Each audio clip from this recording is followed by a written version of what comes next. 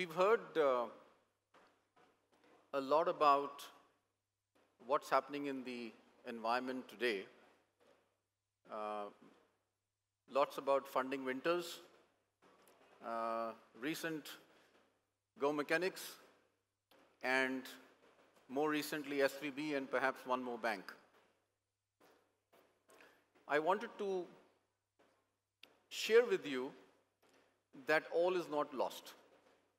In fact, the industry, and I call it the industry today because it has scaled to a massive level, the startup industry, today um, has changed dramatically. And for investors, what we see what entrepreneurs are doing is very different from even five years back. Um, if you look at the history of the last three years, entrepreneurs came out successfully. In fact, in our portfolio, 70% of entrepreneurs grew their businesses faster during COVID business than pre-COVID. Um, and COVID was followed by the war, and the war was followed by supply chain disruption, and supply chain disruption has been followed by governance issues. What I want to share with you is how the industry is growing today and how we see it in the market space. Of course, there is macros. If some of you have read a Morgan Stanley report, um, we are today looking at a large economy. Um, Morgan Stanley's prediction is that 20% of the world's GDP will be powered by India in a 10-year cycle. Uh, consumption is increasing. If you today see uh, issues which are improving, exports are improving uh, drastically right now. Uh, very big turning point, market cap of public equities has crossed the GDP. This has happened in many countries where the new tech is emerging in a very big way. Uh, and that's happened in India in the last one year. Uh, renewables are increasing day by day. So what we are seeing is a very drastic change on the ground.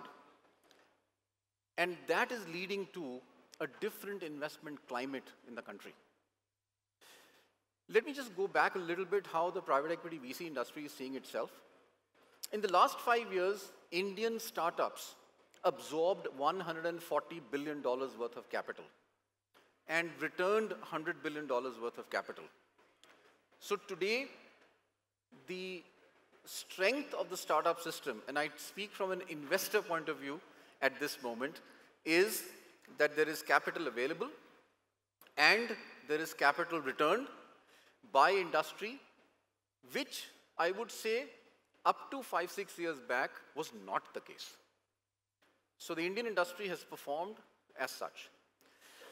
We expect, this is our own research, in the next five to six years, India is likely to absorb approximately $350 billion worth of PVC tech capital, most of it will be tech, and return approximately $300 billion. We're talking about not a startup ecosystem anymore. We are talking about a massive industry which is contributing to the GDP in substantial ways which has never happened. If you look at measures which are there indicating towards this, you see a chart which is how much of PVC investments has happened in the USA as a percentage of GDP. And you see another column which says how much has happened in India. There is a gap, about four, in, I have 21 data, about 4% of US PVC, sorry, US PVC investments were 4% of US GDP in 21. India was about 2.5%. If you look at the run rate, it's about $40 billion a year, 35 to 40. To reach 4%, India is likely, it has to perform at $80 billion a year. The question is whether it will or not. I'm an optimistic. I think private capital increase is going to happen massively right now. Because the gap of 4% is the holy grail. It may take 5 to 10 years, but it is happening today. I think the emergence of Rupee Capital is very important. Um, industry level, our estimate is that 15% of the capital has been from rupee investors. In a large country like India, it is likely to be higher. We ourselves have reached 50% out of our 8,000 crores AUM, which is, which is a segue. And I see my friend IvyCap here, uh, and they are also very large um, uh, raiser of rupee capital. Why do I say this? Because there's an example already in China where 60% of venture capital was local capital.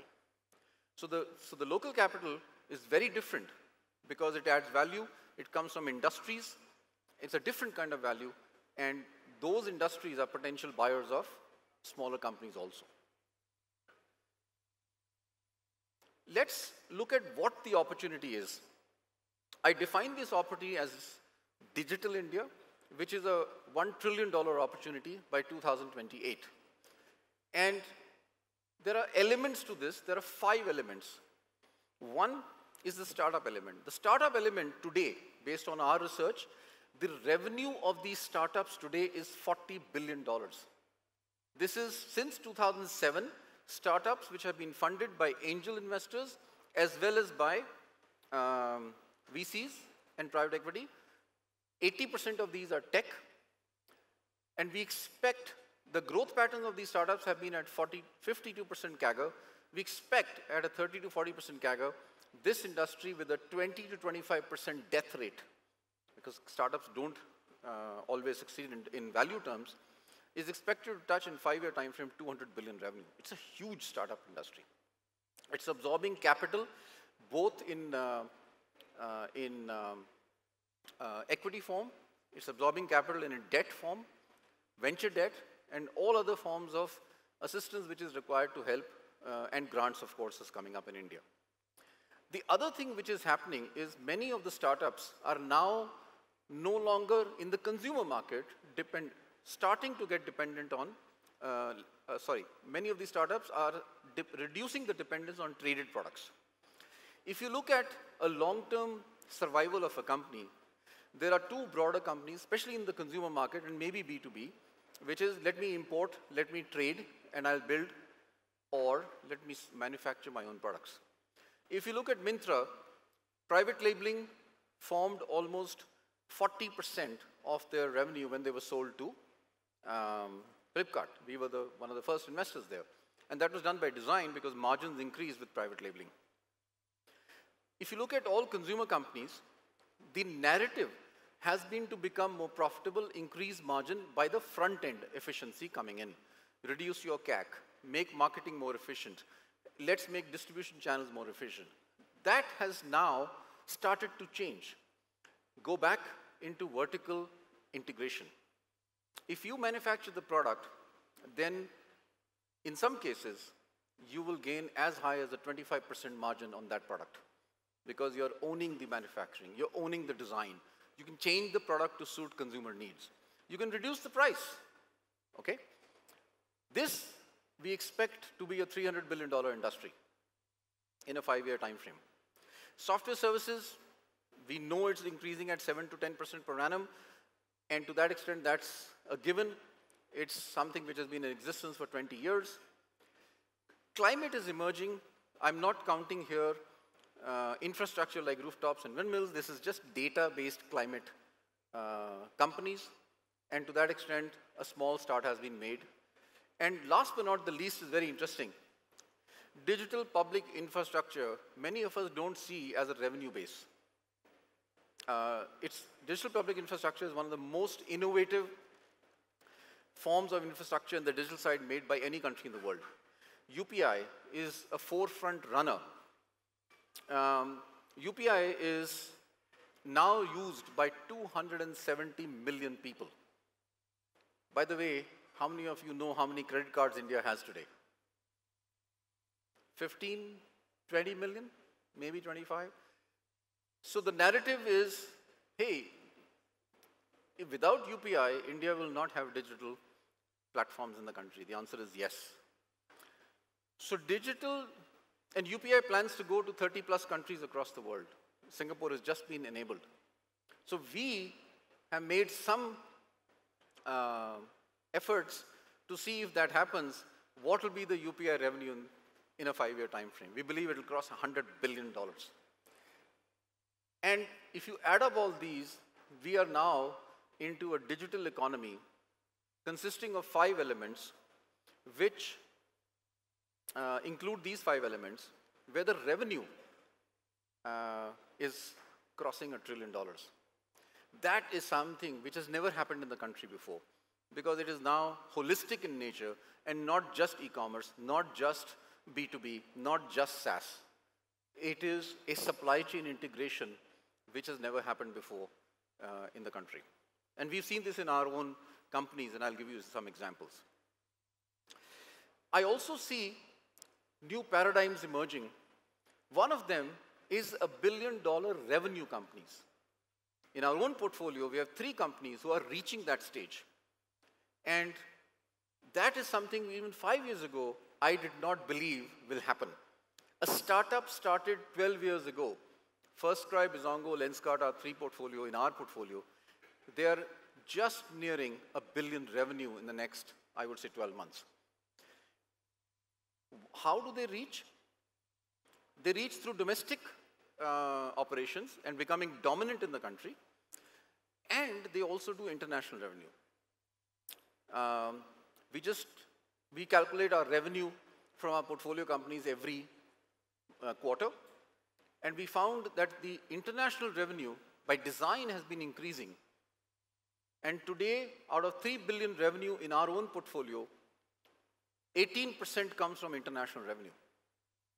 And this was, trust me, I did not imagine. Why? Because when you sell an Indian product outside the country, the margins are higher.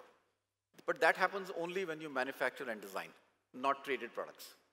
So some of these consumer companies have gone. And what is surprising also to us, and pleasantly surprising, is that the international revenues we believe will grow up to 40% in a five-year time frame of the overall portfolio. Uh, companies are expanding predominantly into three territories, Asia and Japan, um, uh, Middle East, uh, GCC region, and US. US is the holy grail. What took us by surprise was also the fact that out of our international revenue, 80% was consumer revenue. So the conventional thinking and the conventional narrative is the number one revenue international is SaaS. It's not. Right? This may be peculiar to our own portfolio. However, I believe the industry will follow because there are large companies will go outside.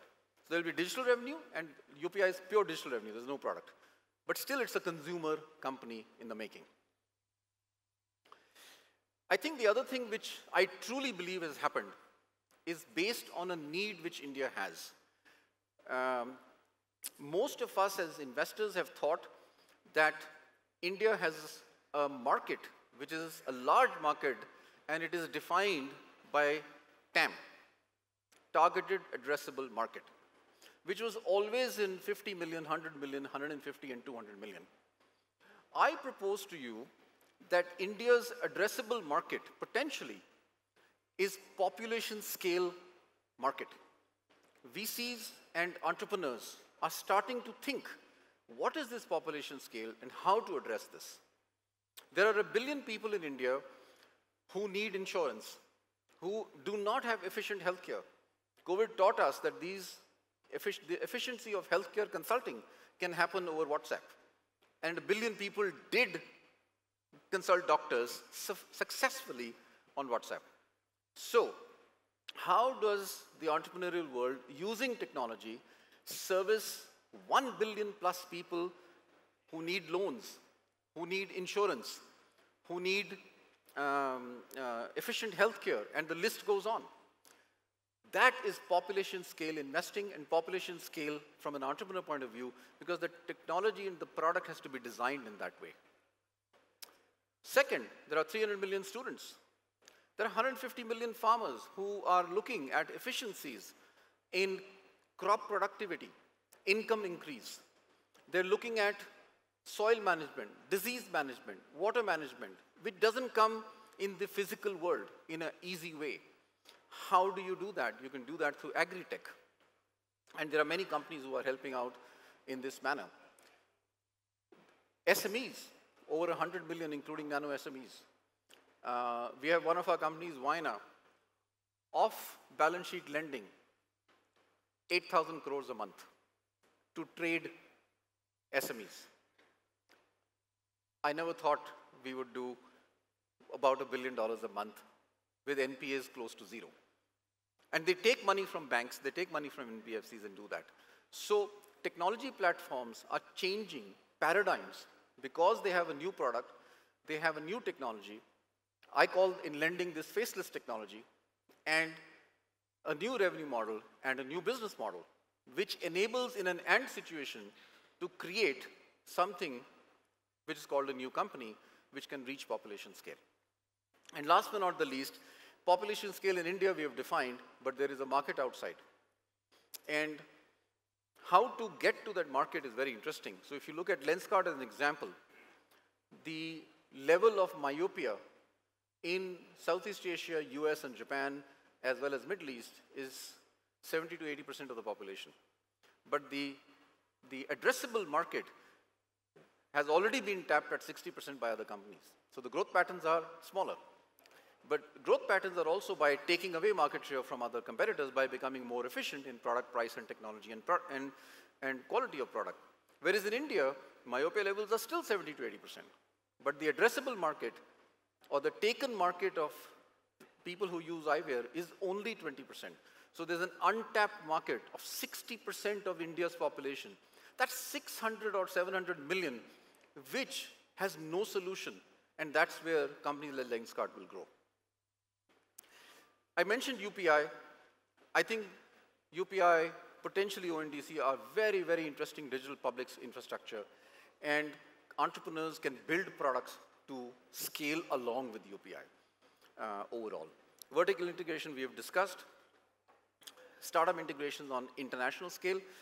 Uh, in, in population scale, there's one very important combination which is very important, is today, um, GMV of Amazon on Flipkart, possibly 15, 20 billion dollars. How many consumers do you think buy for a company to be created at that scale? Any guesses?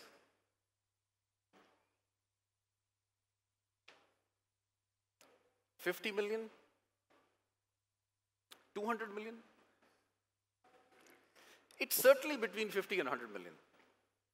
So we have two very large commerce players who have built massive revenue and by only addressing very small consumer base. Now, if you want to reach 200 million people, the product has to be priced lower, the quality cannot be compromised, which means you need to do design and manufacturing, and payment systems are UPI. So the stage one of population scale is how to get to a 250 million base in your respective sectors in consumer, and that means designing of product, designing of strategy, which is very, very different from what it is today. So I believe the combination of population scale with UPI is very powerful, and I know some companies at a larger scale who are already addressing this right now. I think emergence of Rupee Capital is a fuel for the nation. It's going to increase in leaps and bounds. I also think that product companies are, with IP and patents, monetizable will increase as we move forward. VCs and PVs, are they delivering exits? In the last five years, $100 billion worth of exits compared to $140 billion worth of investing. I submit to you that entrepreneurs and VCs and PVs are delivering exits, unlike perhaps the narrative which is running in the international and domestic markets. There are large global secondary players who are coming in for the top 20 companies who are going public, perhaps in the next two to three years. Um, and those check sizes which are coming in at that level are anywhere between 100 to 400 to 500 billion, million. Um, I think the other thing is there is enough Indian capital at the early stage. Uh, the reason for funding Winter is not because there is a large capital not present. There is capital available. However, due to market situations, decision making is slow, valuations are lower, and only very good, sound propositions are getting funded overall. So, effectively, we still have to talk about the risks of investing in India and what does an entrepreneur look and what does a VC look. Um, I think I won't go through all of them, but the biggest one which is running in my mind is governance. We've seen some indications of this uh, repeatedly in the last two, three years. Um, governance is very, very crucial. Adoption of ability to read simple balance sheets when you do a startup at the age of 26, 27. Uh, by the way, many, many young VCs need to learn how to read balance sheets uh, overall. And to that extent, it's very crucial that governance tighten up, regulatory tighten ups be happening in, in startups and VCs to address some risks which are there in the market space. With that, thank you very much.